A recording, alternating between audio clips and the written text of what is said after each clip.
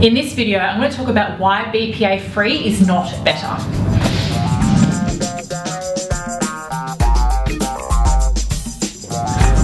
Hey, I'm naturopath and nutritionist Katherine Maslen. Welcome to 2 Minutes to Health. In this video, we want to talk about why BPA free isn't actually better. So before we do that, let's talk about what BPA actually is. So BPA or bisphenol A is a plastic chemical. So it's a chemical found in plastic that will actually leach into your food and drink. You'll consume it in your body and it will actually affect um, your health.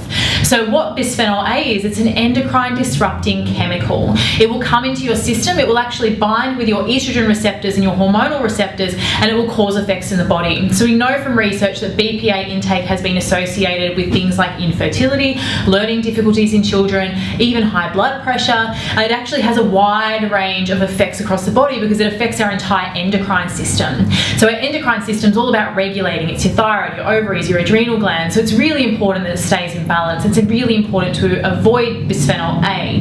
Now what you might have noticed is that a lot of plastic products are now saying that they're BPA free, which you would think is a good thing, but unfortunately when they take BPA out they put other bisphenol chemicals in. So a BPA-free plastic is likely to contain things like BPS and other bisphenol chemicals. So one study found that BPS was over 100 times more potent than BPA in its endocrine disrupting effects. So it isn't actually a good option at all. The only really safe thing to do in this situation is to avoid plastics altogether, particularly when they're in contact with our food and drink. So the first thing that needs to go is plastic water bottles. You must use a stainless steel or glass water bottle for best results.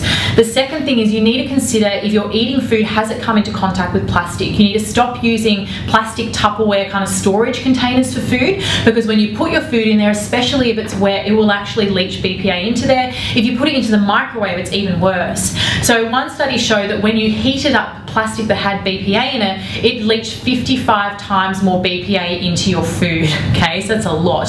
So the other thing when you want to consider that is if you're drinking coffee out of takeaway cups, so that is lined in plastic which contains BPA or bisphenol chemicals in it too. So you heat, put the hot coffee in it and you're basically drinking endocrine disruptors.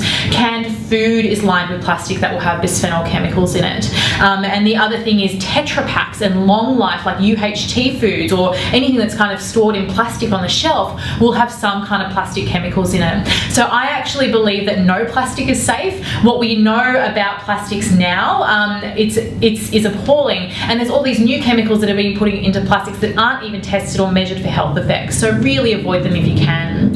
So my name is Katherine Maslen. This has been 2 Minutes to Health. Thanks for joining me. Please do subscribe, like the video, and I'll see you next time.